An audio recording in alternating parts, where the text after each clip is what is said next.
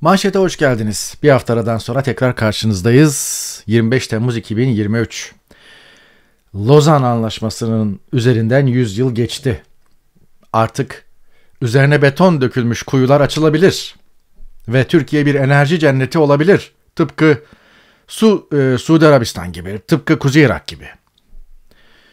Yalanlarla başlayalım bugün. Bunlardan biri de buydu. Lozan 100. yılından sonra işte efendim Türkiye prangalarından kurtulmuş olacak. Hatta bu kapak böyle dolaşma sokuldu. Türkiye 2023'e kadar hiçbir şey yapamaz. Lozan'la eli kolu bağlandı. Hadi buyurun bakalım.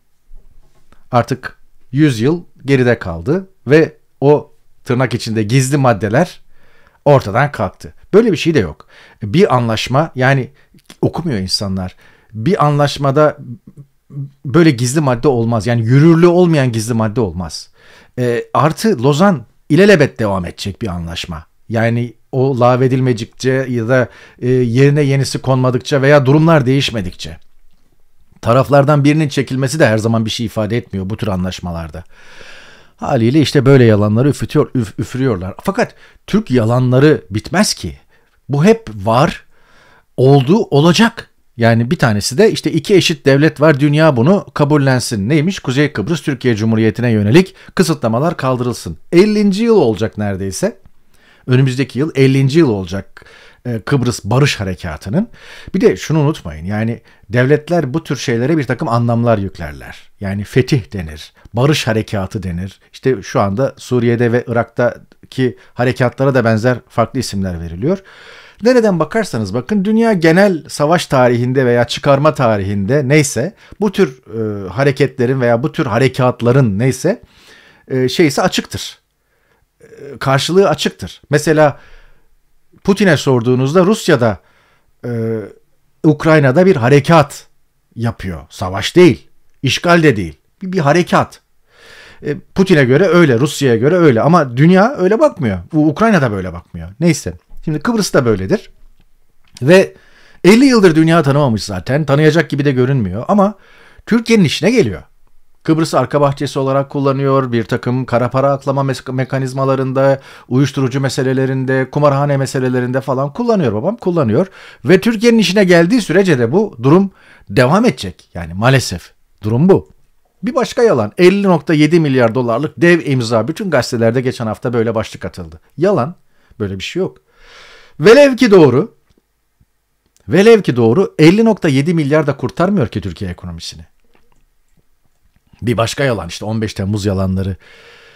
Bu Neşeli Günler filminde yanılmıyorsam Münir Özkul eniştesi Şener Şen'e Ziya diyerek onun anlattığı abartılı öykülere, abartılı hikayelere, çocuklara anlattığı abartılı hikayelere tepki gösteriyordu. Öznur Kalender de onu çizmiş. E, Hulusi Akar'ın 15 Temmuz'la ilgili zırvalarına. Evet 15 Temmuz bütün boyutlarıyla aydınlatılmadıkça Türkiye'nin iki yakası bir araya gelmeyecek. Siyasal olarak da, sosyal olarak da, ekonomik olarak da, ahlaki olarak da. Bu dört açıdan iki yakası bir araya gelmeyecek. Birazdan arka arkaya sıralayacağımız sorunlar içerisinde e, hiç yani hepsi biri yok ki ayrılsın. Hepsi buraya bağlı esasen. Vizesiz AB için süreç başlıyor. Bu da büyük Türk yalanlarından biridir. Böyle bir şey yok, olmayacak. Avrupa Birliği hayaldir. Vizesiz Avrupa Birliği içinde serbest dolaşım ise rüyadır. Hani hayalle rüya arasındaki farkı bilenler ona göre yorumlayabilirler. Bugün Avrupa Birliği üyesi olmuş kimi ülkeler hala serbest dolaşım hakkını alabilmiş değiller. Onlara bile süreler veriliyor. Ama işte maaşlı gazeteciler birazdan bakacağız. Yani işte maaşlı iktidar gazetecileri böyle başlıklar atıyorlar. Ama gerçek bu. Ki bu da TÜİK verilerine göre. Yani Türkiye'nin resmi istatistik kurumu verilerine göre. Giden çoğaldı, dönen azaldı. Yurt dışına gidenlerin oranı bir yılda %62 artmış. Ve ülke dışına çıkanların büyük kısmı ise eğitimini tamamlamış genç nitelikli 25-29 yaş grubu. Böyle. Hayat kısa, kuşlar uçuyor derken buna da atıf vardı. Şimdi bu geçtiğimiz günlerde yayınlanan en değerli pasaport indeksi. Birinci sırada Singapur var. 192 ülkeye Singapur pasaportunu taşıyanlar elini kolunu sallayarak girebiliyor. İkinci sırada 3 ülke var. İspanya, İtalya ve Almanya. Üçüncü sırada kaç ülke var? Çok ülke var. 7 ülke var. İsveç, Güney Kore, Lüksemburg, Japonya, Fransa, Finlandiya ve Avusturya. Diğer ülkelerde sıralanıyor işte. Benim yaşadığım İngiltere dördüncü sırada. Ne bileyim Amerika bile sekizinci sırada. Yani çok değerli değil pasaport. Esasen değerden değil de ne kadar çok ülkeye gidebiliyorsa bir pasaport o kadar kıymetlidirden hareketle böyle bir endeks oluşturulmuş. Ee, bu e, önemli. Yani sizin pasaportunuzun kıymeti, değeri açısından bu önemli. Pasaportunuzla kaç ülkeye gidebiliyorsunuz? Türkiye'ye de baktım. Türkiye 50. sırada bu listede. 114 ülkeye gidebiliyormuş elini kolunu sallayarak. Fakat bu ülkelerin büyük bir bölümü Afrika ülkesi, Asya ülkesi, Malezya gibi vesaire. Ee, ne bileyim Azerbaycan, Ermenistan gibi ülkeler de var. Ee, Avrupa'da çok sınırlı sayıda ülke var. Gerçi Azerbaycan'ı, Gürcistan'ı da Avrupa ülkeleri içinde sıralamış endeks ama yani Arnavutluk, Moldova, Makedonya, Ukrayna, e, Karadağ, Sırbistan, Kosova ve Bosna Hersek gibi ülkelere gidebiliyorsunuz. İşte bu kadar. Yani Balkanlardaki birkaç e, coğrafyayla sınırlı pasaportunuzun kıymeti. Böyle demişken Yunanistan birkaç gündür çok büyük felaketlerle sınanıyor adeta. Çok yüksek sıcaklıklar var. Akdeniz havzasında 45-50 derece gölgede ölçülen sıcaklık Afrika sıcaklarının etkisinde Akdeniz havzası yani İspanya'dan İtalya, Yunanistan'a hatta Türkiye'ye kadar. O arada Rodos'ta tatil yapanlar e, bu sıcaklara ek olarak bir de orman yangını gerçeğiyle yüzleştiler ve bütün ada yanıyor. Ve tahliyeler başladı birkaç gündür. Marmaris'e de tahliyesi söz konusu olmuş oradaki tatilcilerin hangi milletten olursa olsun tabii orada orada tatil yapan ama Türkiye'ye gidip gelmekten çekinen ya da Türkiye'ye gir, girdiğinde başına iş gelebilecek insanlar da Rodos'ta yakalanmış durumda bu tatile. İşte böyle riskler de var. Yani e, Türkiye'ye gitmekten çekinen kimi aileler veya kimi Türkiye vatandaşları Türkiye'ye yakın bir coğrafyada tatil yapınca bu tarz e, binde bir belki başına gelme olasılığı ama geliyor. Ee, hep söylüyorum Türkiye'ye girip çıkmakta tereddüt eden veya herhangi bir risk var mıdır yok mudur endişe eden insanların bırak Türkiye yakınında tatil yapmasını Türkiye üzerinden geçen bir uçakla bile seyahat etmesi çok fazla doğru ve mantıklı gelmiyor bana ama insanlar gene bildiğini okuyor bir şey demeyeceğim. Ekonomiye geçelim Şenol Babuşçu önümüzdeki bir yıl içinde ekonomik açıdan en iyi günümüz bugün demiş ki bunu geçen hafta atmıştı bu tweet'i. Yani esasen her gün böyle yani her geçen gün bir, bir sonraki günden daha kötü bir döneme girildi ekonomik yönden ki bu seçime kadar tutulabilir mi? Birazdan Daron Acemoğlu'nun tweetlerinde onu göreceğiz ama ondan önce Selva Demiralp demiş ki Merkez Bankası'nın böylesine güçlü bir enflasyonist trendi bugüne kadar yaptığı 900 bas puanlık faiz artışıyla aşağı çevirebilmesi imkansız. Ekonomistlerin uzun dönemdir, daha doğrusu haftalardır seçimden bu tarafa, seçimden önce başlayarak söyledikleri, birkaç aydır söyledikleri şey ortak. Artık faiz artırarak bu işi geri çevirmek çevirmek imkansız. Selva Demiralp de onu söylüyor. Selva Baziki benzer bir şey söylemiş ekonomist. Arka kapı satışları durdu. Kuru tutmak için 21 ayda 199 milyar dolar yakılmış. 199 milyar dolara 200 deyin siz. 200 milyar dolara ülke kurarsınız değil şehirleri. Ama şu anda ne oluyor? İşte depremden dolayı kayıpları işte vergilere yapılan zamlarla veya ek vergi koyarak falan tahsil etmeye çalışan bir devlet var. İşte Darun Acaramoğlu'nun 3 tweetlik serisi bu. Çok yazık diye bitirdiği 3 tweetlik serinin üçüncüsü önemli. Onu aynen okuyacağım. Daha derin problem ekonomide şudur diyor. Türkiye'nin yapısal bozukluklarına çare getirecek hiçbir şey yapılmadığı aşikar. Belki ufak tefek faiz artışlarıyla ki bakın mevcut artışları iktidar çok büyük bulsa da bunu Acemoğlu ufak tefek diyor. Orta Doğu'dan gelen kaynaklarla seçime kadar ekonomi ayakta kalır belki kalmaz. Çok enteresan bir şey söylüyor. Şu an şu an seçim ekonomisi uygulanıyor ama bu seçim ekonomisi de ekonomiyi kurtarmaya yetmez. Seçime kadar bu ekonomi ayakta kalmayabilir diyor. Seçime kadar ekonomi ayakta kalmaz uyarısı önemli. Ülkenin ekonomik potansiyelinin çok savrulduğu kesin yazık demiş. Eser Karakaş benzer bir şey söylüyor. Açık açık Erdoğan emeklilerin maaş işini yılbaşında yani yerel seçimlere 3 ay kala çözeceğiz dedi. Tamam seçim ekonomisi uygulayacaksın ama bu kadar da kör göze parmak olmaz ki. Kiracıları aç gözlülere kurban etmeyiz demiş Başkan Erdoğan. Sabahın manşeti buydu. Bülent Korucu da üzerine şu yorumu yapmış. Ülkede az gerilim varmış gibi Erdoğan kiracı ev sahibi gerilimini kışkırtıyor. Devlet önce kendi yaptığı zamları %25'e çeksin sonra ev sahiplerini zorlasın. Esasen doğru olan bu. Ama kime ne diyorsun? Kime ne anlatıyorsun? Melis Alpan Ekonomiyi düzeltme iradesi ortaya konur diye umuyordum. Artık hiç umudum yok. yüksek enflasyon kalıcı hale gelecek belli ki. Evet şu aşamada yapılan ve yapılacak tüm tedbirler, palyatif tedbirler, pansuman tedbirler ne derseniz deyin. Çare olmamış görülüyor. Seçime kadar da bu ekonomiyi ayakta tutmak güç. Daron Acemoğlu'nun uyarısı orada ve önümüzdeki 5 yıllık dönem. İşte seçimden seçime öyle ya. Bu 5 yıllık dönemi kestirebilmek de son derece güç. Nasıl olsun ki? Şimdi hükümet ev sahiplerine %25 kira artışı yapacaksın. Bunu uygulayan yok da. Hani öyle diyor. Yani üniversitelere bakın. Koç ikiye katlanmış. Koç Üniversitesi dünya sıralamasında yeri nedir? Ayrı bir konu. Eğitiminin kalitesi ayrı bir konu ama Türkiye'de işte suyun üstünde kalmış birkaç üniversiteden biri. 278 binden 520 bine çıkmış yıllık ücreti. Kim nasıl ödeyecek yani? 520 bin Türk lirası. CHP'nin Zoom toplantısı gündemdeyken e, Cumhuriyet Gazetesi'nde bu karikatür yayımlandı. Seçmenin de internet üzerindeki gizli toplantısı ortaya çıktı. Zoom'u da zam diye yapmış Zafer Timoçin. Evet öyle. Ortadaki kadın bu ay bin lira elektrik faturası geldi diye yakınıyor. Toplum sinir hastası oldu doktora da gidemiyor. Bülent Çelik'in gazete penceredeki karikatürü zaten şu anki psikolojik durumu göstermeye yetiyor da artıyor. Daha ne olsun? Vizite 2000 TL diyor bu arada duvarda. Vizite 2000 TL. Gazeteci gözaltıları var. Bugünün ana gündemi Medya Mahallesi'nde buydu. Dört gazeteci gözaltına alındı. Buna e, bir isim daha eklendi. Evrim Deniz de eklendi. Evrim Kepenek, Sibel Yükler, Delal Akyüz ve Fıratcan Arslan. Beş gazeteci gözaltında. Evrim Kepenek gözaltına alınırken Biyanet'te çalışıyor. Elleri böyle ters kelepçelenmiş. İşte evi de hukuksuz bir şekilde aranmış. Dijital materyallere el konulmuş falan. Yoğun bir biçimde operasyonlarını, yoğun bir biçimde susturma operasyonlarını sürdürüyorlar. Bu gazetecilerin bir kabahati olmadığı, bir suçu olmadığı ortada. Bunu herkes de biliyor ama işte bir tweet paylaştıkları ya da bir tweet RT'ledikleri için falan. Zaten içeride de bunu sormuşlar. Yani Gökçer Tayincioğlu paylaşmış. Sibel ve Fırat adliyeye getirildi. ifade için bekliyorlar. Adliyeden son dakika fotoğrafı. Hani yüzlerine bakar mısınız? Yani iti uğursuzu arka kapıdan salarken gazetecileri topluyorlar ki amaç yazmasınlar, tweet atmasınlar, RT dahi yapmasınlar ve bunları da toplayarak dışarıdaki meslektaşlarına gözdağı veriyorlar. Sizin de başınıza aynı şey gelebilir. Sibel gazetecilere yönelik e, hukuksuzluğu belgelerle açığa çıkaran ve iddianameleri çürüten nitelikli haberlere imza atıyordu diyor Veysel Ok. Sibel Yükler'den bahsederken.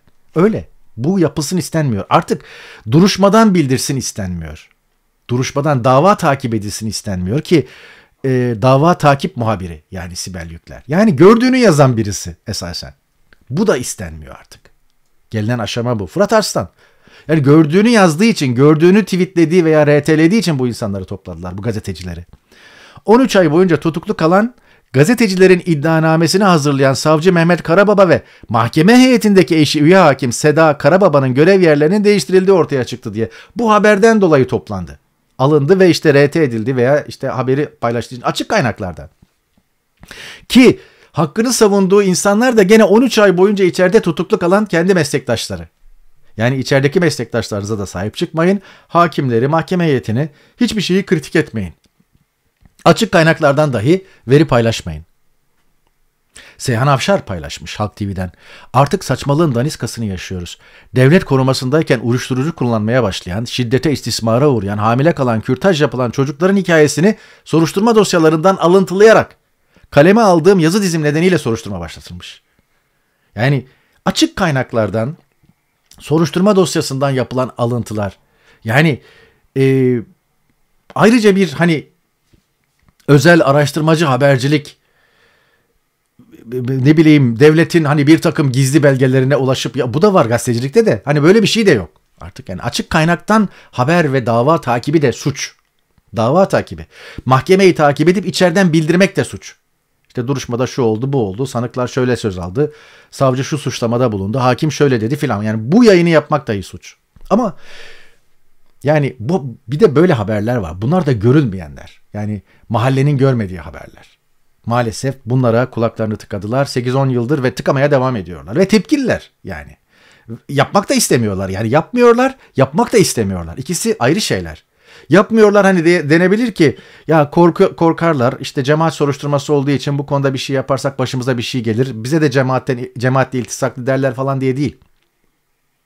İkincisi daha vahim olan durum. Yapmak da istemiyorlar. Yoksa her haber bir biçimde yapılabilir. Bir, bir biçimde sunulabilir yani. 19 gözaltının gerekçesi cemaat soruşturması, maişet adı altında para göndermek, özel ders adı altında ders vermek. Bahadır Gül'le paylaşmış, yıllardır tutukluyorlar ama birbirlerine yardım etmekten vazgeçiremiyorlar. O arada da arka kapıdan işte işit. Yöneticisi Ebu Hanzala lakaplı Halis Bayancuk tahliye edilmiş. Ki Can Atalay'ın tahliyesini reddeden Yargıtay tarafından tahliye edildi. Cengiz Çandar 7 e, yıl kadar İsveç'te yaşadıktan sonra Türkiye'ye döndü ve Yeşil Sol Parti'den Diyarbakır milletvekili seçildi. Osman Kavala'yı ziyaret etmiş. Hakan Altınay'ı, Can Atalay'ı, Tayfun Kahraman'ı. Keşke yani muhalefet milletvekilleri kendilerine muhalefet diyorlarsa bu cezaevlerine gitseler ve en azından bu isimleri ziyaret etseler. En azından kendilerine yakın gördükleri, kendi mahallesinden olan isimleri ziyaret etsinler. Hani her mahalleyi dolaşmıyorlar ayrı bir konu da, dert etmiyorlar ayrı bir konu da. Ama beşi geçmiyor. Cezaevinde e, bu insanları, bu isimleri ziyaret eden milletvekili sayısı beşi geçmiyor. Bir elin beş parmağı kadar. Maalesef yani. Şimdi bir haber. İyi Partililer Bursa'da akaryakıt zammını protesto etmek için AKP il başkanlığı önüne boş benzin bidonu koymak istemişler. Buraya kadar bir şey yok. Polisler bu protestoyu engellemeye çalışınca da ne diyor biliyor musunuz Bursa'daki İyi Partililer? Biz HDP'li değiliz. Yani HDP'lileri tutuklayabilirsiniz, gözaltına alabilirsiniz, HDP'lilerin eylem yapmasını engelleyebilirsiniz. Onlara yasaklar koyabilirsiniz ama biz HDP'li değiliz. Bizim eylem yapmamız, protesto gösterisi yapmamız serbest olmalı. Böyle de bir muhalefet. Bir de zannediyorlar ki HDP'lilerin protesto yapması yasak. Kendileri yapabilir. Ya herkesin yasak ülkede. Bunu ancak başınıza geldiğinde mi anlıyorsunuz? Dönelim CHP'ye. CHP'de Kemal Kılıçdaroğlu ile Ekrem İmamoğlu arasında gerçekten bir mücadele var. Bir liderlik mücadelesi bu. Adı nasıl olursa olsun. Kemal Kılıçdaroğlu daha açık oynuyor. Devam edeceğini, liderliğe devam edeceğini, seçimlere kadar da seçimden sonra da kaptan gemiyi terk etmez falan işte manifestosuyla ilan etti, söyledi, söyletiyor. Parti yönetimini değiştirdi. Yardımcılarına, sözcülerine bunu konuşturuyor. Açıktan yürüyor. Ne kadar eleştirilirse eleştirilsin. Ben de eleştiriyorum istifa etmesi gerekiyordu kaybettiği gece. Üç gün eşimin yüzüne bakamadım demiş. Yani eşinin yüzüne bakamıyorsun da seçmeninin yüzüne nasıl bakıyorsun? Yani bırakması gerekiyordu. Bırakmadı devam ediyor. Yani o manada açıktan oynuyor diyorum. Ama öbür taraftan Ekrem İmamoğlu en son işte birkaç haftaya kadar konuşacağım demiş. Zoom toplantısı sızdı şu oldu buldu. Herkes her şeyi biliyor. Ee, bir Zoom toplantısı yaptınız. Kemal Kılıçdaroğlu'nun etrafında yanında yöresinde görünen isimlerle onun arkasından iş çevirdiğiniz ortaya çıktı. E çık artık yani ne yapıyorsan yap. Sen mi aday oluyorsun? Yoksa birin e, bir adayınız var etrafında kenetleneceğiniz onu mu destekliyorsun? Kimdir bu? Kemal Kılıçdaroğlu'nun alternatifi. Çık söyle. Yani şu anda durumlarda bir değişiklik yok. E, iki şeye dikkat edin. Bir işte olağanüstü kurultay kurultay ne zaman toplanır? E, Kemal Kılıçdaroğlu delegelere ne kadar hakim? Bunun nabzı tutulmalı. Öbür tarafta Meral Akşener'e de bakılmalı. Çünkü Ekrem İmamoğlu Meral Akşener'le birlikte hareket ediyor. Haliyle Akşener cephesinden atılacak adımlar, yapılan manevralar veya e, söylem de önemli. Tabii e, Ekrem İmamoğlu bir anlamda da siyaset yasaklı. Yani mahkeme birinci mahkeme siyaset yasağı koydu. İkinci mahkeme de Be Beylikdüzü Belediye Başkanlığı'ndan kalma bir dosyadan dolayı o da siyaset yasağı koymaya koymaya hazırlanıyor. Bir açıdan ayağında bir pranga var. ikincisi takılmaya çalışılıyor. İstanbul Büyükşehir'e bir kere daha aday olmak istiyor ve İstanbul Büyükşehir'i kazandıktan sonra o güçle sonraki Cumhurbaşkanlığı seçiminde aday olmak istiyor. Esasen siyasi takvimi bu, ajandası bu ama bakalım durumlar neyi gösterecek? Murat Aksoy naftalinli bir ekiple yola çıktığını e, ve bunu yadırgadığını söylüyor. Ama yani ne yapsın? Bu, bu, bu durum böyle. Yani Kemal Kılıçdaroğlu da Önder Sav'la yan yana yola çıkmıştı. Daha sonra Önder Sav ekarte edildi. Yani şu anda CHP'yi, partiyi neyse ele geçirmeniz veya işte yönetimde söz sahibi olabilmeniz için bir kadro var. Onlar da her yeri tutmuş durumdalar. Onlarla beraber yürüyeceksiniz. Yarın öbür gün yolda değiştireceksiniz. Yani bu durum böyle. Evet aynı naftalinli ekip katılıyorum. Yani laf benim. Aynı naftalinli ekip lafı benim ama altındaki cümle Murat Aksoy'un altındaki cümle evet doğru ama şu anda başka yol yok. Bir de bu, bu biraz eskidi gerçi maaşlı gazeteciler daha çok konuşuluyor ama Ümit Özdağ'la ikimizin arasında özel bir protokol var. Bu ikimizin namusuna te, temsil edildi. Danışmanım dahil kimse bilmiyor. Yani bir kere danışmanınız dahil insanlar bilecek, partinin belli kurmayları bilecek. İki, siz seçime birkaç gün kala bir partiliyle, bir parti lideriyle bir protokol yapıyorsanız bunu kamuoyuyla da seçmeninizle de paylaşmanız gerekiyor. Açık olması gerekiyor bu tür şeylerin. Nereden baksanız akla zarar şeyler ki zaten Kılıçdaroğlu son bir haftadır, on gündür, iki haftadır yani acayip akla zarar şeyler söylüyor. Bugün hadi hemen seçim yapalım bakalım falan. Yani Atalan Üsküdar'ı geçti. Tabii ki seçimden sonra zamlar konulacaktı yani. Yani adam şimdi seçime gider mi? Seçime kadar zamları tuttu. Seçimden sonra zam musluğunu açtı. Ondan sonra diyor işte Kemal bugün bari ve bugün gider mi seçime? Yani akla ziyan ama asıl konuşulan laf bu. 21 Temmuz'da belediye başkanlarıyla toplandığında kapalı toplantıda Sözcü Gazetesi'nin kulisi böyle demiş. Yani köşe yazarları üzerinden parti içi meseleler tartıştırılıyor. Ben kimin nereden ne kadar maaş aldığını iyi biliyorum. Bu da zaten maaşlı gazeteciler tartışmasını başlattı. Göz altındaki gazetecileri, tutuklu gazetecileri unuttuk. Maaşlı gazetecileri.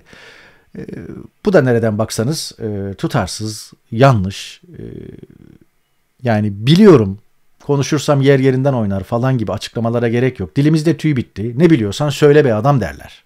Yani. Fakat şu enteresan. E, şu anda Kılıçdaroğlu'nun en etkili kurmaylarından Genel Başkan Yardımcısı kanal kanal dolaşıyor. Halk TV ile aralarındaki anlaşmayı tek taraflı sonlandırdığını açıkladığı şu tweette diyor ki biz diyor medya organlarıyla ka- reklam kampanya videoları yayınlama tamam bu normal. Bir de canlı yayın grup toplantıları anlaşmaları kapsamında Halk TV ile olan anlaşmayı sonlandırdık. Ya arkadaş grup toplantısı için de mi para alıyordu Halk TV sizden? Ya ben bunu ilk defa duyuyorum. Bir yaşıma daha girdim. Demek ki oluyormuş bizden sonra medya böyle şekillenmiş. Ben açıkçası tamam e, kampanya döneminde e, iki türlü bir e, gizli bir de açık reklam alıyordu ya da para alıyordu şeyler televizyonlar. Reklam kampanyası çerçevesinde partilerin veya adayların reklamları yayınlanıyordu. Bu tamamen faturalandırılmış şeyler. Bir de anlaşma yapıyorlardı. Ee, işte çıkan milletvekili adayı veya belediye başkan adayı falan veya lider neyse bir de para veriyordu. Bir biçimde e, örtülü, kapaklı, çanta içinde veya neyse bu şekilde oluyordu. Hiçbir şekilde bu işe girmedim. Ha partilerle reklam ilişkisine girdik de bu tarz gizli kapaklı ilişkilere girmedim ben ama şeyi bilmiyordum yani canlı grup toplantısını yayınlamak da parayla olmuş artık Türkiye'de. Enteresan yani. Grup toplantıları parayla mı yayınlanıyor artık ya? Tabii şimdi maaşlı gazeteciler diyor. O arada CHP Demirören Medya Grubu'na koyduğu ambargoyu kaldırmış. Şimdi kendi maaşlı gazetecilerinizle yollarınızı ayırdınız. Hükümetin maaşlı gazetecilerine mi geçtiniz? Yani bu, bu da bir tuhaf. Kimi hedef alıyor? Geçmişi temiz biri ne demek? Kim bu gazeteciler? Aklı yeni mi başına geldi diye Kılıçdaroğlu'na sorular yöneltmiş Erkaceler ama bu soruların cevabı yok. Bu sorulara cevap vermeyecek ve maalesef mahalle büyük bir hayal kırıklığı yaşıyor. Ve bu tür gelişmeler de bunu maalesef destekliyor. Yani yani durumu düzeltmediği gibi, soğutmadığı gibi bilakis körüklüyor. Ahmet Hakan Kılıçdaroğlu biraz neşemizi bulalım. Kılıçdaroğlu analizinde yerinde olmak istemeyeceğin birinin adını söyle deseler onun adını söylerim diyor. O derece. Yani yerinden memnun demek ki bu arkadaş. Yani ben böyle bir kıyaslamada bulunmam. Hani yerinde olmak istemeyeceğim kişi. Ben Türkiye hayatımı sonlandırdım. Burada yaşıyorum. Bir daha da Türkiye hayatım olmayacak. Ama yani Türkiye'de yerinde olmak istemediğin kim vardır falan gibi bir şey olsaydı böyle bir şey yok da Türkiye hayatını sonlandırmış birisi Türkiye'de yerinde olmak isteyeceği birini falan kritik etmez. Ama diyelim ki etti. İlk sıralardan birine herhalde Ahmet Hakan'ı koyardım yani. Yüz yerde biri olarak. Şimdi Maaşlı gazeteciler büyük bir polemiğe yol açtı. Detaylarına girmeyeceğim. Görüyoruz herkes işte Halk TV'de çalışanlar veya yolu Halk TV'de geçmiş olanlar, Halk TV'den geçmiş olanlar hepsi açıklamalar yapıyorlar şu bu falan. En böyle keskin açıklamalarda Oda TV içinde oldu. Şimdi Oda TV'nin 13-15 senesine imza atmış iki isim. Ee, Barış Pehlivan ve Barış Terkoğlu ile Oda TV'nin hala hazırda zaten başından beri sahibi olan Soner Yalçın karşı karşıya geldiler. E, ve işte o, o kadar artık e, bıçaklar çekilmiş durumda ki birbirlerine demedikleri lafları bırakmıyorlar. Enteresan. Bir de tabii şu da var. Bize iftira atıyor, atılıyor diyorlar. Yani siz o iftiraları 15 yıl boyunca attınız. Oda TV'de bir değişiklik yoktu ki. Gerçekten yoktu. Bütün sürecine tanıklık eden biri olarak söylüyorum. Oda TV hep aynı Oda TV'ydi zaten. Operasyon merkezi. Oda TV bir medya, medya sitesi, bir aydınlanmaya katkı falan için kurulmuş bir mecra değil ki. Başta da öyle kurulmadı. Sonra da öyle gelişmedi. Pehlivan ve Terkoğlu döneminde de öyle değildi. Şimdi de öyle değil. Ve başında da hep ta en başından beri Soner Yalçın vardı. Siz başkalarına iftira atarken iyiydi de şimdi kendinize iftira, iftira atılınca mı kötü oldu? Çiğdem Koç da onu yazmış. Avukat Çiğdem Koç. Oturup da açıklamaları okumanın sağına sonuna bakmanın manası yok. O da TV işte ta o zaman Cüneyt Özdemir, Soner Yalçın birkaç kişiyle falan beraber bir, hatta işte Ekrem İmamoğlu'nun şu anda danışmanı olan Murat Ongun da epey bir süre orada yazılar yazdı. Serdan Akina'nın yolu oradan geçti filan falan. Epey bir giren çıkan oldu. Yakın zamanda da işte e, bir sürü insan e, şeyden Pehlivan ve Terkoğlu ayrıldıktan sonra başka insanlar enjekte edildi. Şu oldu bu oldu. Yani Kaptan fırtına da gemiyi terk etmez. Evet. Hürriyet'in başlığı güzel ama. Bununla bu konudan yavaş yavaş çıkalım. Gazeteci Zübeyde Sarı demiş ki şu yaşıma girdim hiçbir dönemde insanların siyasetten siyasetçilerden bu kadar umudunu kestiği karamsarlığa kapıldığı bir dönem hatırlamıyorum. Zübeyde Sarı'nın yaşını bilmiyorum ama ben yaşı ileri bizlerden de ileri çok insandan bunu işittim. Yani 70'lerinde, 80'lerinde, 90'larında olan insanlardan böyle bir dönem görmedik lafını ile işittim. Yani neredeyse cumhuriyetle yaşıt insanlardan da böyle bir dönem görmedik lafını işittim. Dolayısıyla öyle bir dönem yani. Ali Özünyan CHP'yi kritik ederken o cenahta bir Şero kaldı bence sevilebilecek demiş. CHP Genel Merkezi'nin kedisi Şero'dan bahsediyor. O arada yumruklaşma olmuş CHP grubunda. Mustafa Sarıgül e, yumruklu saldırıya uğramış. E, feciydi diyor Hilal Köylü. Tanık olmuş. Saldıran eski vekil Turan Tüysüz konunun alacak verecek mal meselesi olduğunu söylemiş. Sarıgül de alacak verecek meselesinin halledileceği yer burası değil demiş. Yani iktidarıyla muhalefetiyle gerçekten evlere şenlik bir durum var ülkede. Türkiye dökülüyor. De. Eser Karakaş'ın çok güzel tweetiyle ki Eser Karakaş bir öğretim üyesi kimliğiyle YÖK'te olup biteni falan çok iyi analiz eden, takip eden de biri. Yani bir değişik bir, bir değişiklik yönetmeliği yayınlamış YÖK. 2010 tarihli yönetmeliğin 14. maddesinin 7. fıkrasına bir ek yapmış. Ama böyle bir fıkra yokmuş. Yani YÖK düzgün yönetmelik dahi yayınlayamıyor. Düşünün demiş. Türkiye dökülüyor. Nasıl dökülmesin ki? Bakın Genelkurmay Başkanı kimdir diye sorsanız e, size e, Musa Aysever derler. Ama Musa Aysever Türk Silahlı Kuvvetleri'nin resmi Twitter hesabında Genelkurmay Başkanı olarak da görevlendirilen Kara Kuvvetleri Komutanı Orgeneral Musa Aysever, Avsever olarak geçiyor. Kazakistan'da işte e, muhatabının davetlisi olarak oraya gitmiş filan. Yani Genelkurmay Başkanı olarak da görevlendirilen ne demek ya? Böyle bir, bir her gün yeni bir yaşımıza daha giriyoruz. İşte Türkiye dökülüyor derken o. Genelkurmay Başkanı'nı Milli Savunma Bakanı yaptınız değil mi? O zaman Kara Kuvvetleri Komutanı'nı atarsınız veya neyse uygun gördüğünüz birini Genelkurmay Başkanı atarsınız. Orada onun boşalttığı yere de başkasını atarsınız. Gider. Ama ne bekleniyor? Yüksek Askeri Şura bekleniyor. Öyle bir zorunluluk yok ki. Ama işte Türkiye dökülüyor. Genelkurmay Başkanı olarak da görevlendirilen Kara Kuvvetleri Komutanı ne demek? Dökülüyor. Hemen her alanda dökülüyor ve bambaşka teamüller oluşturuluyor. O arada güncel e, konulardan biri Elon Musk Twitter'ı X yaptı ve artık X olarak x.com. E tuhaf. E, uzun yıllardır Twitter'ı kullanan, içinde olan insanların yadırgadığı bir şey oldu. Ne yani şimdi Twitter diyemeyecek miyiz? Tweetlemek lafı tarihe mi karışacak? Ne diyeceğiz? Falan gibi tartışmalar da var. X Elon Musk'ın markası e, SpaceX diye işte e, uzay çalışmaları var. Tesla'da bir X modeli var. Oğlunun adını da X koymuş filan ve bir platforma dönüştürmeye çalışıyor Twitter'ı. Şimdi yeni adıyla X'i. Ve işte yani bankacılık işlemlerinden hayatın pek çok aşamasında pek çok şeyi yapabileceğiniz bir platforma dönüştürmeye çalışıyor. Bakalım başarılı olacak mı ama 17 yıllık galiba Twitter'ın markanın hatta kuşu, amblemi falan her şey değişiyor e, tertüz edilip tamam yani mal sizin siz satın aldınız o kadar milyarlar dolar bayıldınız ayrı bir konu ama çok riskli bir iş yapıyorsunuz. Yani bu kadar tutmuş kalan kalıcı yerleşmiş herkesin artık bildiği filan bir şeyi böyle dönüştürmek hakkınız var buna sahipsizsiniz ama e, acaba bu işin işte markaya dönük tarafı, markaya vereceği zarar doğru hesaplandı mı bilmiyoruz. Bunu da zamanla göreceğiz. Evet. İnaatı güncelledik. İnaatı güncel e, konularla güncelledik ve hatta arttı biraz. Geçen hafta da söylemiştim. İnaat arttı. E, Perşembe yaparız diye Perşembe program çekemedik. Geçen haftadan devreden ve bu, bu hafta yeni gelişmelerle e, güncellediğimiz in-out var. Epey de arttı. Onu da artık perşembe veya hafta sonuna e, sakladık. Bir sonraki yayında görüşmek umuduyla in-out. In-out'u izliyorsunuz ve ondan sonra kapatıyorsunuz. Evet yayınları e, radyo gibi takip eden ama in-out başladığında yönünü ekrana dönen seyircilerimiz var. Onları bir kere, onları bir kere bir kere daha uyarıyorum. Evet in-out başlıyor. Bir sonraki yayında görüşmek umuduyla hoşçakalın.